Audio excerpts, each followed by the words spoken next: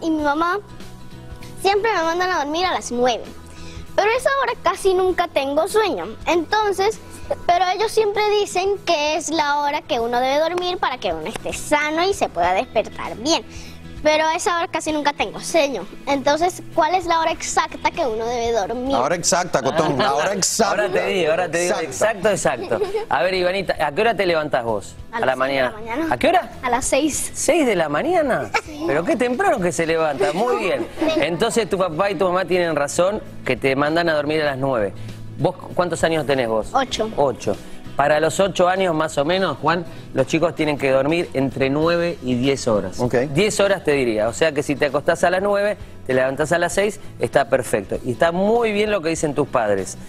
Vos tenés que dormir ese tiempo para estar sana, para estar contenta como estás ahora, que te reís, que sos inteligente, que me dijiste que te va muy bien en la escuela, que te va bien con tus amigos. Para eso es el sueño.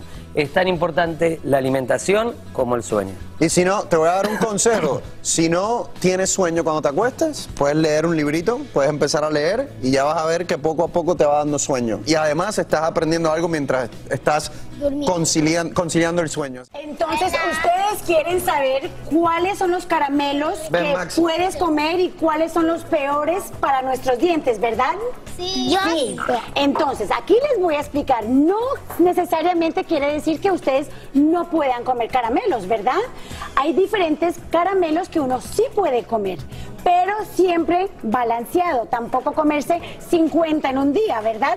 Entonces, los peores que uno puede comer son estos caramelos que son pegajosos. Tú sabes cuando tú abres uno de estos caramelos, lo metes en la boca y se quedan pegados en los surcos de las muelas, ¿verdad?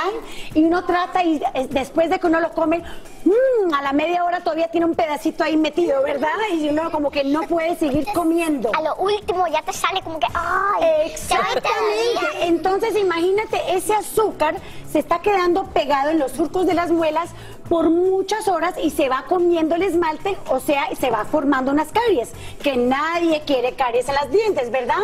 Entonces, como estos caramelos pegajosos son muy malos, o estos que se llaman jawbreakers o rompequijadas o sacamuelas, ¿Por qué se llaman así? Porque si uno trata de masticar, ¿qué pasa? Se Se te puede romper la muela, romper el diente y ahí sí vas a tener que ir a visitarme de emergencia. Porque son Porque muy duros. son muy duros. Entonces tratar de evitar estos tipos de caramelos y tratar de comer chicles sin azúcar, que hay unos con sabor a fresa, a frutas deliciosos y no contienen el azúcar.